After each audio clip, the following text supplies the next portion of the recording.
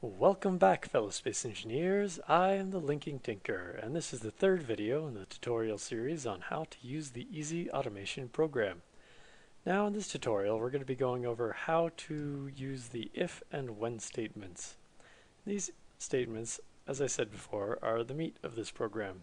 You'll be using them quite a bit to get all of your automations to happen. So let's get started by creating a code block. And we'll call this code block the if when examp. So at if when examp. There we go. Open curly bracket, close curly bracket. Alright, and now we shall add a button to access that. And we'll link it up to the tutorial programming block, run it with the argument of the LCD name, so tutorial LCD, and then in the brackets the if when examp. There we go. And we'll also give ourselves a light and a piston.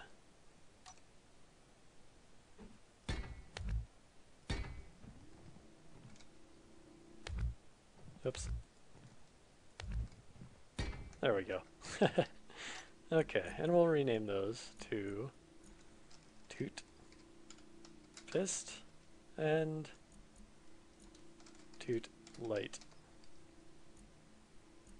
Excellent. So now we've got the code block, a button that references it, and some stuff to play with. Let's enter the code. We'll begin with the if statement.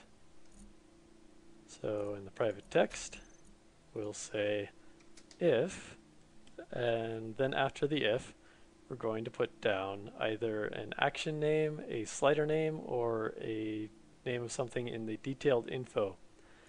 And we'll take a look at the piston because that has all three of those.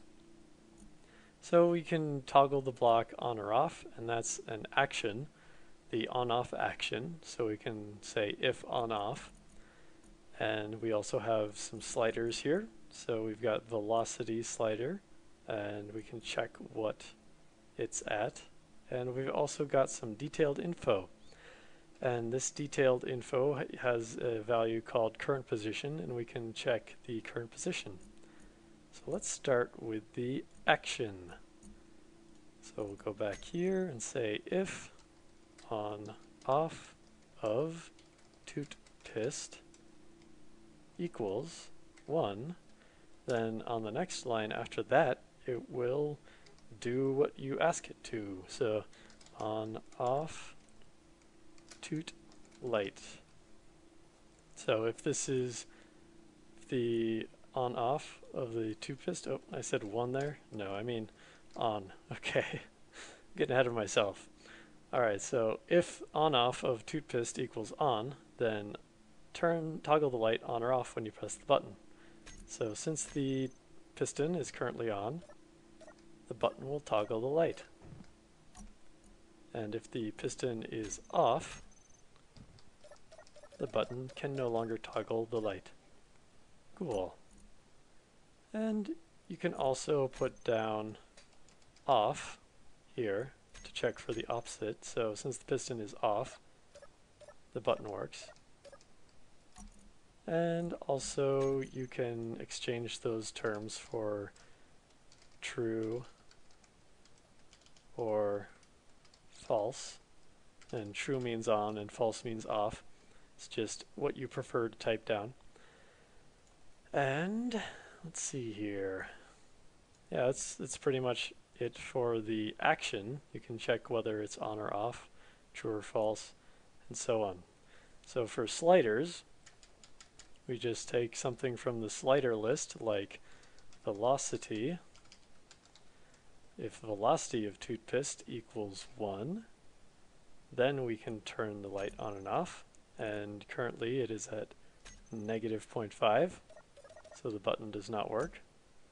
But if we put it to exactly 1, then we'll turn on and off.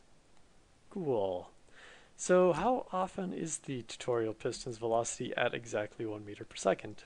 Well, probably not very often. So let's check for something a little more general.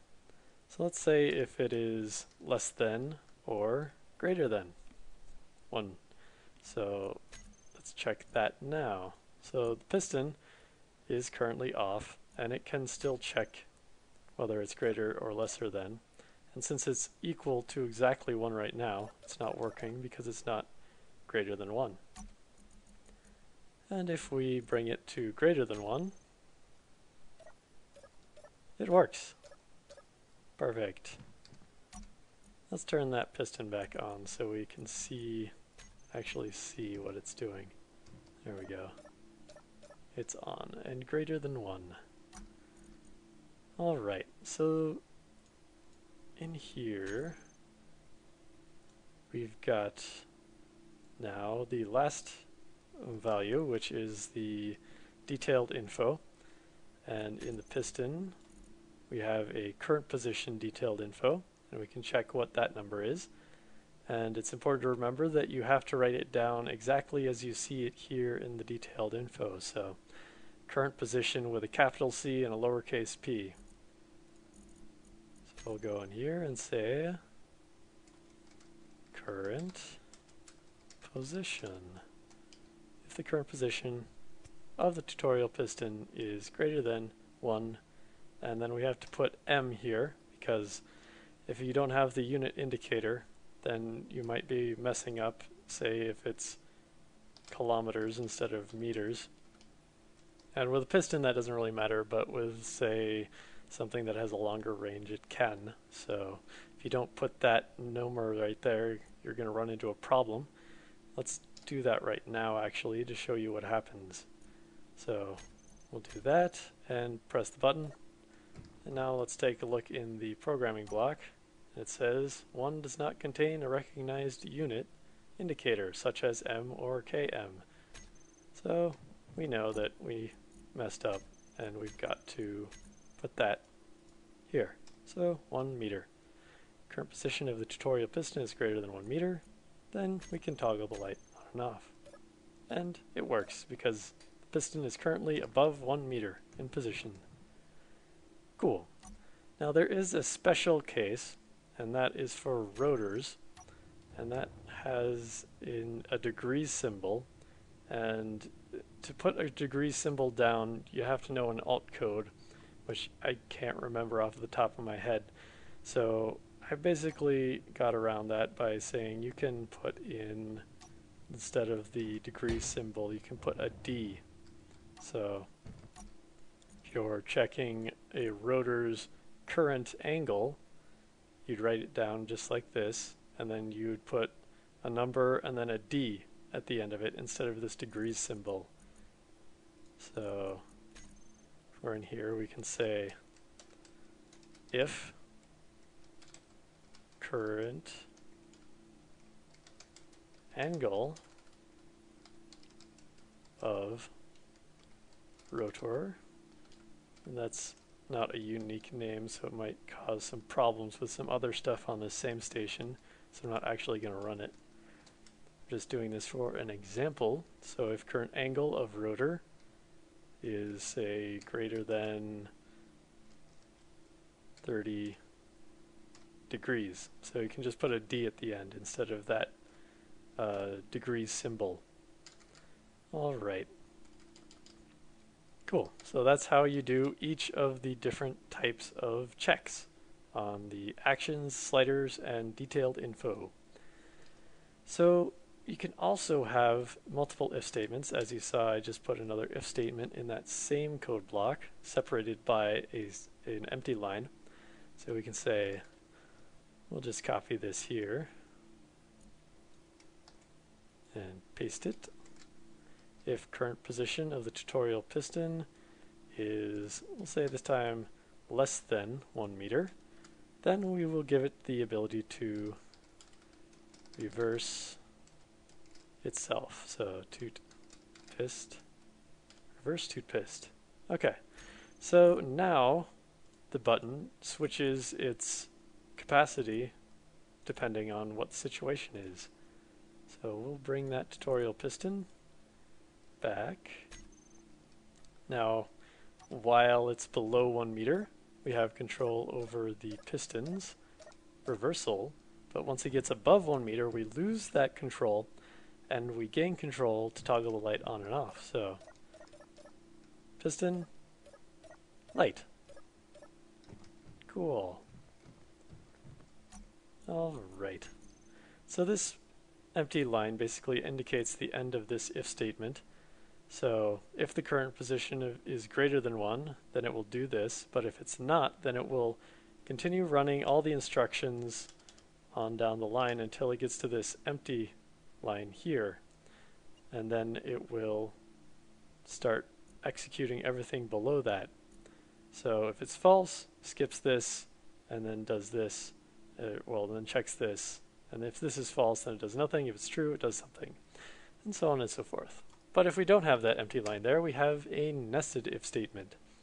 This means that if this is false, then it will skip over absolutely everything here because there's no empty line. But if it's true, then it'll run this and then it will check if this is true. And this statement is kind of a nonsensical statement because first it's checking if it's above one meter, and if it is above one meter, it checks if it's below one meter. Of course, it's not going to be.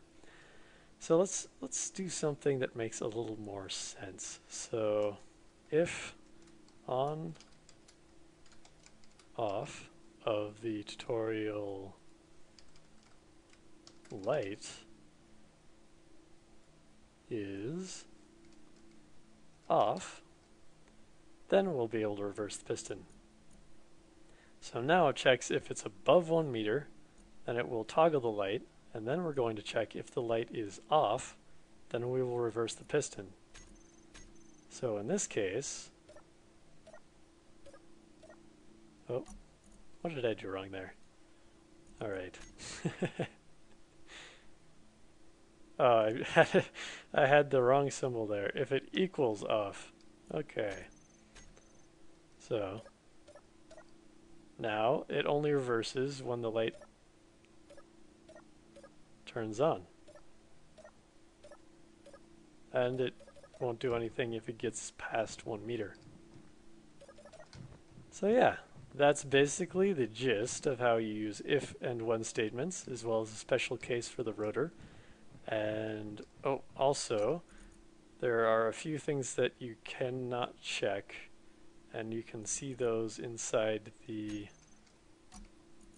uh, the code editor here. If you scroll down here, you'll see a third list. This is the list of sliders and actions that are not currently supported by the if and when statements. And we have color, background color, font color, and image. So you can't check those. Haven't added that functionality. Maybe in the future, maybe not. Oh yes, so now we are going to be going over the when statement. And to do the when statement, it's basically handled exactly like the if statement. So instead of checking if the current position of the tutorial piston is greater than 1 meter, we will check when the current position of the tutorial piston is greater than 1 meter. Then it will turn, or then it will toggle the light. Alright. So, right now it is less than 1 meter. Let's extend it here. So right now we can see it's greater than one meter, so it just activates. But if it's less than one meter, so we press the button, now it does nothing, but it actually is doing something.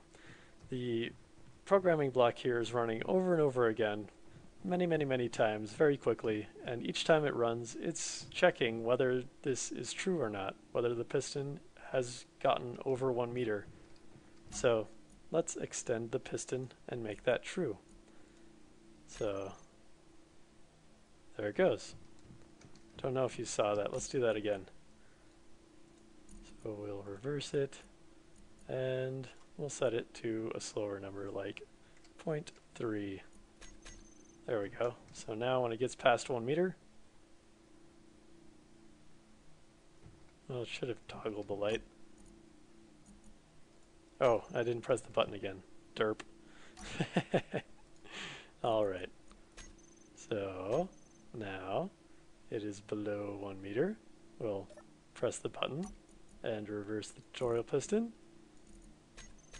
And now when it gets above one meter, toggles the light. Okay, there we go.